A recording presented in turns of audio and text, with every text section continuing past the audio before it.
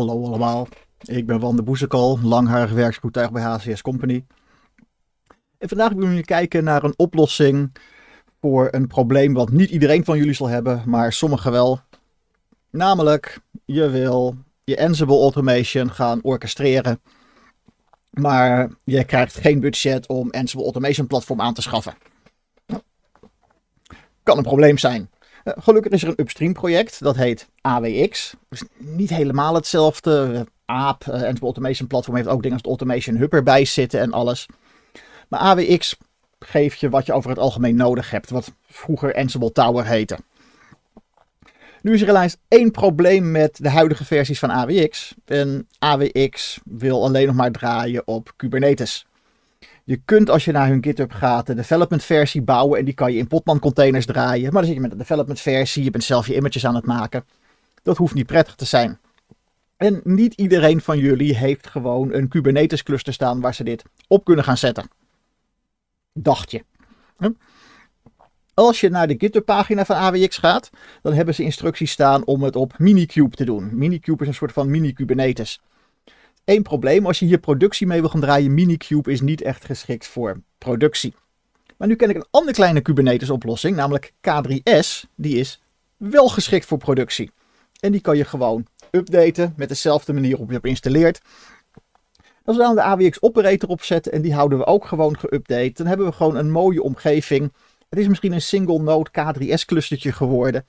Maar het is genoeg om te starten. En als de automation dan zich bewezen heeft, kan je misschien budget krijgen om naar iets als AAP toe te gaan. Of een grote Kubernetes cluster met alle redundancy en alles van dien.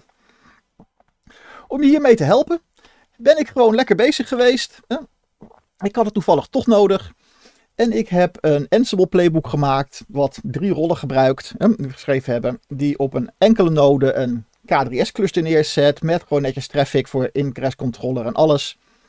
En die daar vervolgens de AWX-operator opgooit. En dan een AWX-instantie voor je deployt. GitHub, uh, de GitLab hiervoor staat hieronder gelinkt. Dus gebruik het als basis voor je eigen dingen. We maken wat aannames. Het is een voorbeeld. De rollen kun je gewoon gebruiken. Het playbook moet je misschien eventjes naar je goede host gaan wijzen en alles. Dus laten we gaan kijken. Ik heb hier een Fedora machine, maakt niet zo heel veel uit. Ik zit in een distrobox container, ook met Fedora. Daar heb ik Ansible in geïnstalleerd. Hm. Een pip install Ansible, want we gaan niet pakketten gebruiken en alles. Hè. We zijn aan het hobbybobben. Hm. En als ik hier kijk, ik heb mijn install K3S AWX directory. Die heb ik gekloond van het git repo wat hieronder staat. En dan heb ik een paar directories. Één directory roles, daar staan mijn rollen in. Ik heb een site.yaml voor mijn playbook. Ik heb een hostbestand. En mijn hostbestand is heel groot. Ik heb één host erin zitten, die heet k3s.testing. Dat is een intern domein wat ik gebruik. Mensen die CRC kennen weten waar die vandaan komt. Virtuele machines hangen er bijna allemaal aan dat ze ook met CRC kunnen praten.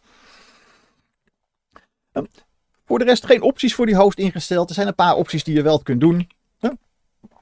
Dus ga je dit aanpassen voor je eigen ding, moet je een inventory schrijven met de host. En dan hebben we in site.yaml hebben we een playbook. Die wijs ik naar k3s.testing. Die wil je eventjes naar je eigen host zetten. Let op, als je naar meerdere hosts gaat zetten, dan gaan ze op allemaal een K3S-cluster installeren en op allemaal AWX-operator en AWX-instantie. Deze playbooks maken niet een multinode K3S-cluster. Daar mag je zelf wat extra werk voor gaan doen. Het is niet heel veel extra werk wat je moet doen, maar... En ook die AWX-operator installeren doen we dan op alle hosts. Dus zet er echt maar één host in. Gewoon hier je host aanpassen en je bent klaar. Zeg ik gather en wie komt, want we gaan een hoop roetrechten nodig hebben dan draai ik drie rollen. Install K3S, install AWX operator en deploy AWX. En die hebben we alle drie hier in die roles directory staan. We hebben ook een readme erbij. Die even zegt wat je moet doen. Die zegt we hebben de rol install K3S.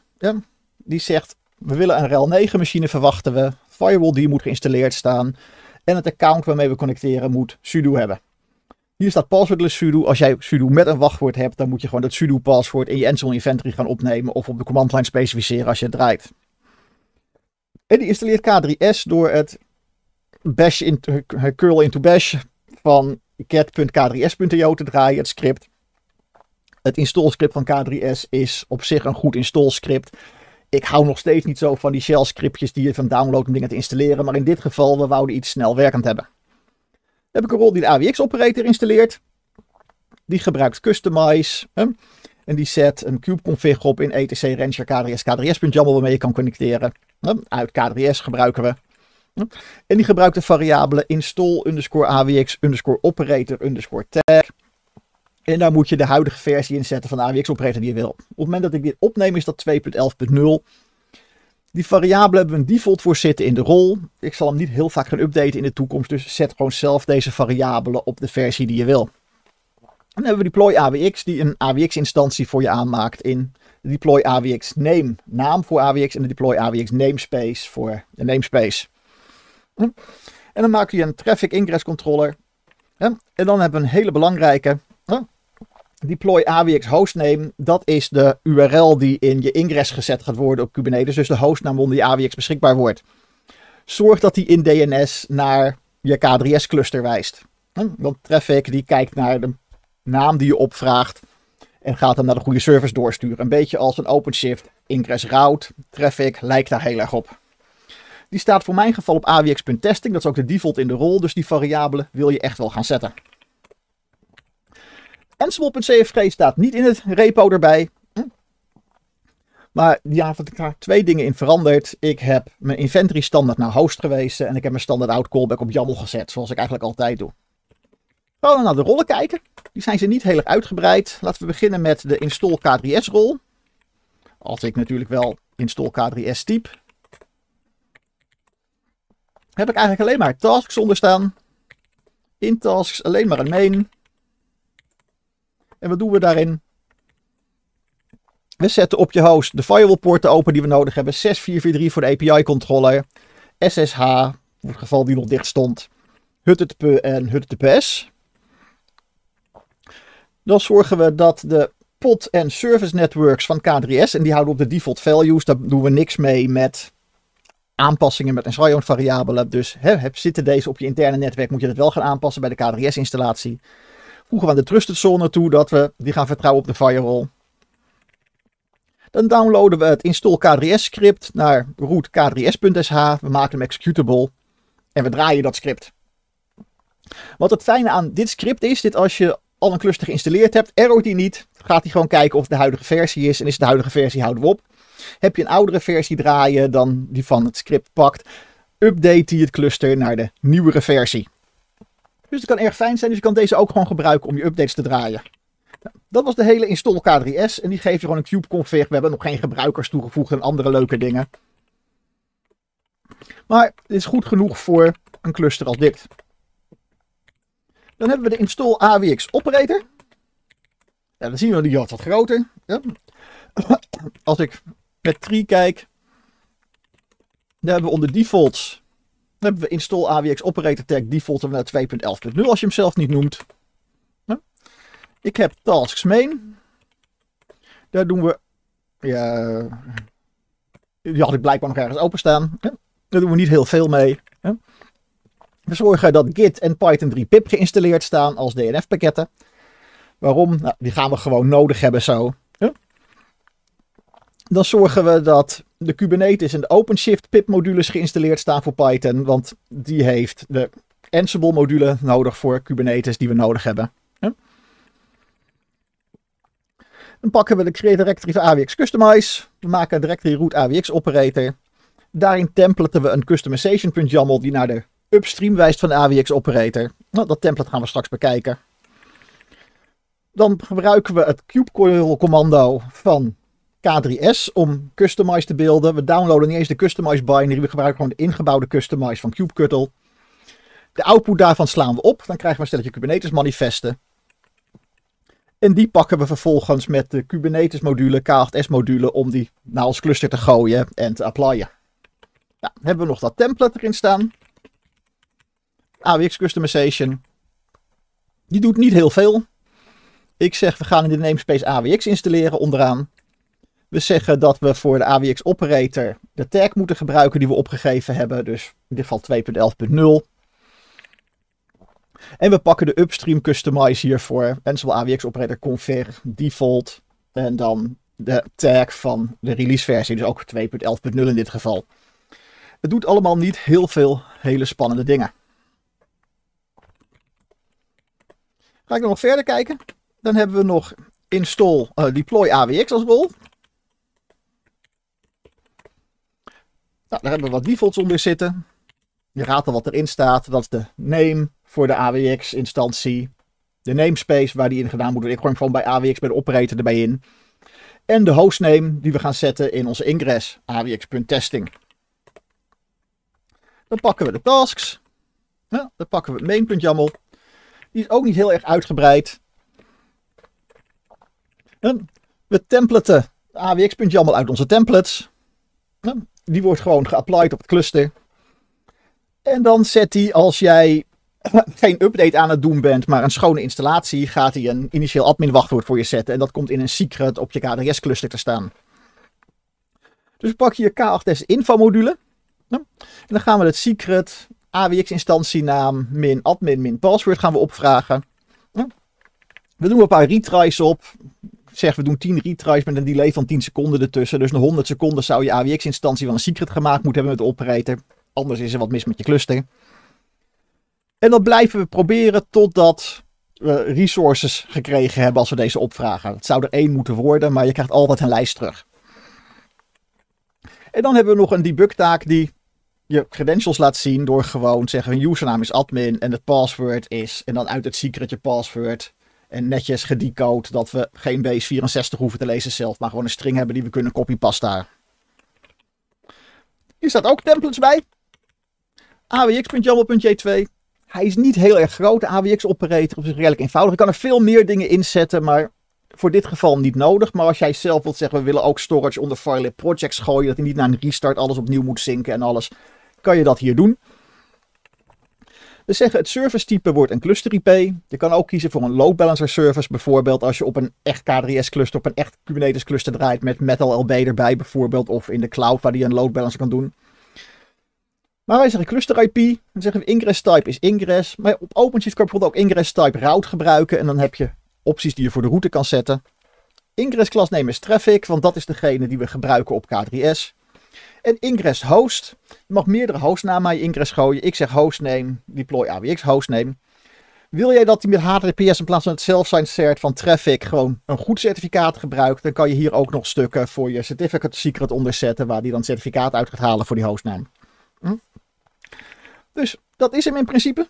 Dus laten we gaan kijken wat er gebeurt als ik dit playbook nou draai. Ik zeg Ansible, playbook. Nee, ik hoef niet min ihost te zeggen, want dat staat in mijn ansible.cfg. Dus ik kan gewoon zeggen site.yaml. Gaat die lopen. We beginnen met getFX. Gaan we de firewall openen. Ik heb hem al gedraaid een keer hier, dus alles is groen in plaats van geel voor changed.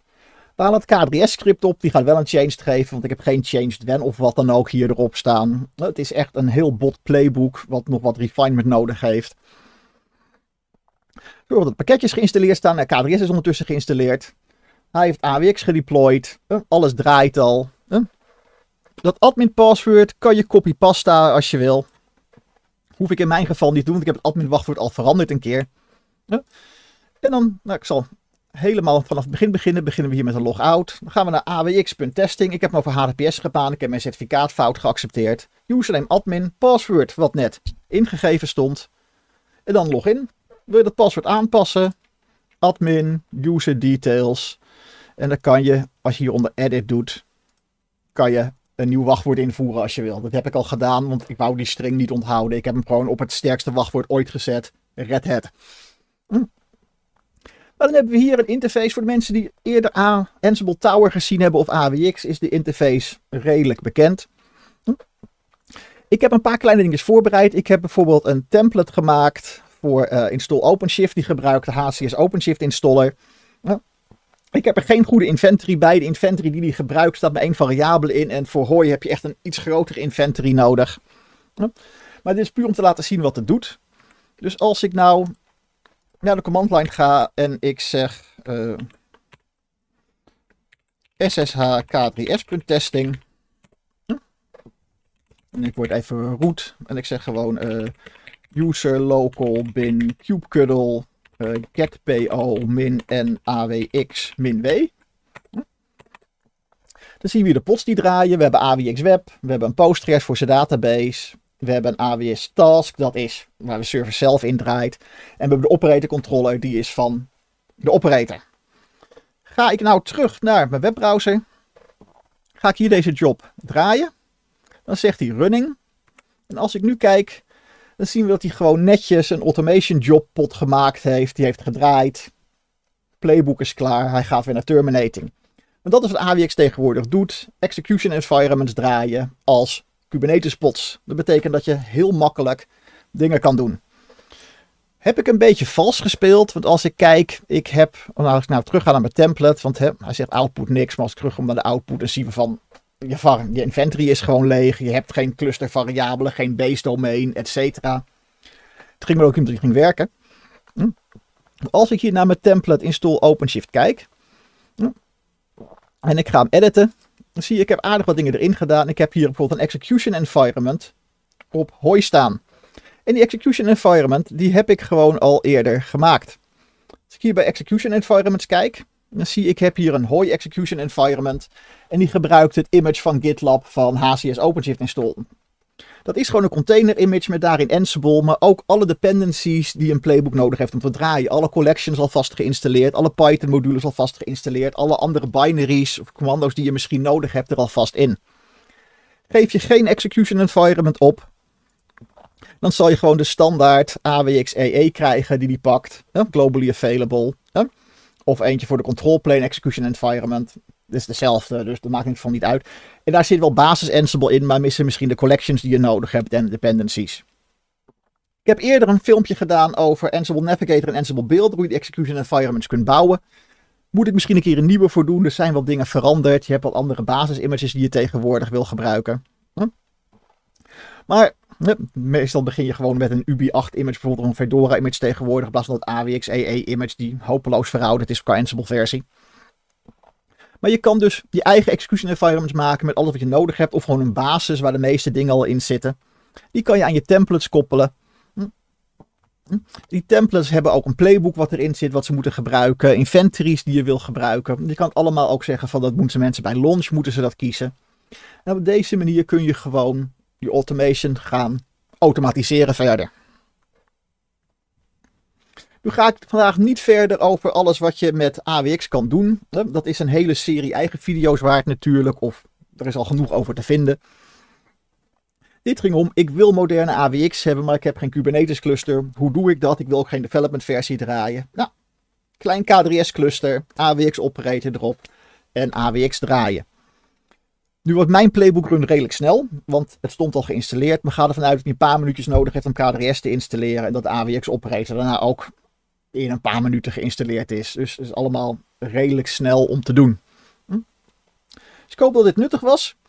Vond je dit leuk? Laat wat commentaar erachter. Like en subscribe knopjes. Dacht je van dat playbook heeft een heleboel verbeteringen nodig. En meer sanity checks en meer variabelen en alles. Mee eens. Hij staat op onze GitLab. Het is open source. Maak gewoon een merge request aan voor ons met alle leuke dingen die je erbij wil hebben. Ja. Als het uh, gewoon past binnen de stijl en het is nuttig, dan mergen we dat gewoon. Ja, krijg je gewoon kudos van ons. En dan hoop ik dat je mee gaat doen. Of in ieder geval dat je hier wat aan hebt. Dat was hem alweer voor deze week.